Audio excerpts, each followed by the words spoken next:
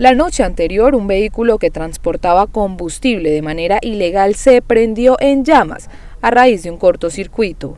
Anoche atendimos un incendio vehicular en la vereda del Salado, más conocido como la Vuelta del Mudo.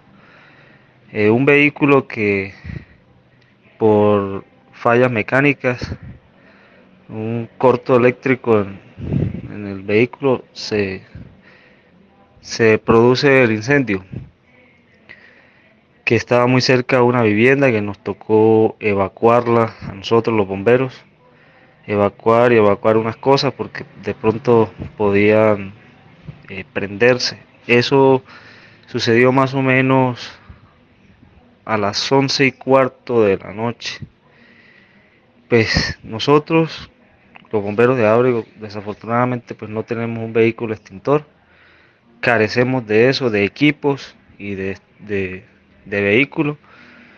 Mm, llegamos al sitio como a las 11 y 25 y, y tocó pues esperar que un poco bajara, mermara la, las flamas de, de, la confederación para poder, eh, poder llegarle a, al sitio cerca del vehículo y poderlo apagar con baldes de agua con arena, con balde, paladas de arena.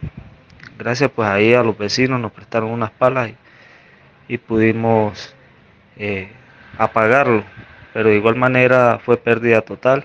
De manera oportuna, el Cuerpo de Bomberos Voluntarios atendió el llamado de la comunidad a pesar de no contar con el equipo apaga incendios.